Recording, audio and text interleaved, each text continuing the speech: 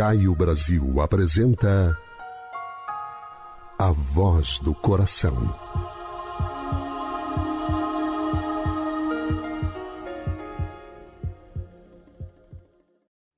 Notícias. Ante as notícias deprimentes que te alcancem de inesperado, não percas a serenidade. Acalma-te para mais bem absorveres o golpe e poderes auxiliar.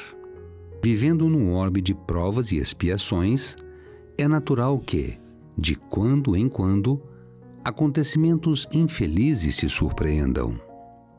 A desencarnação de um ente amado, o acidente de graves consequências, a violência de que alguém tenha sido vítima não acrescentes aflição às aflições que te rodeiam.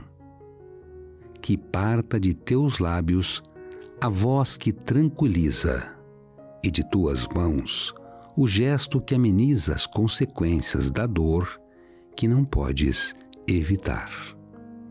Mensagem extraída do livro Com Cinco Pães e Dois Peixes, de autoria de Irmão José, pelo médium Carlos Bacelli paz e bem.